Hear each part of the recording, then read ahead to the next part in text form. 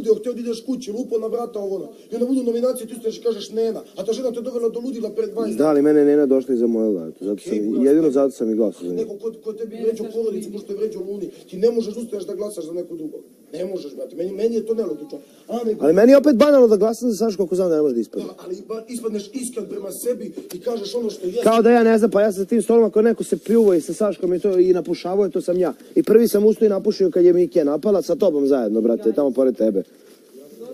To što nam znači... porodicu sve najgore. Ti poludio, htio da ideš kući, lupo na vrata ovo ono. I onda budu nominacije, ti ustaš i kažeš nena. A ta žena te dovela do ludila pred 20 Da, ali mene Nena došla iza moje lajte. Zato sam, jedino zato sam i glasao za nju. Neko ko, ko tebi vređao porodicu, ko što je vređao Luni, ti ne možeš ustaješ da glasaš za neko drugog. Ne možeš, brate, meni, meni je to nelogično. A nego, Ali meni je opet banalno da glasam za Sašku ako znam da ne može da ispadne. ali ba- ispadneš iskren prema sebi i kažeš ono što je. Kao da ja ne znam, pa ja sa tim stolom ako neko se pljuva i sa Saškom i, to, i napušavao, to sam ja. I prvi sam usto i napušio kad je Mikija napala sa tobom zajedno, brate, tamo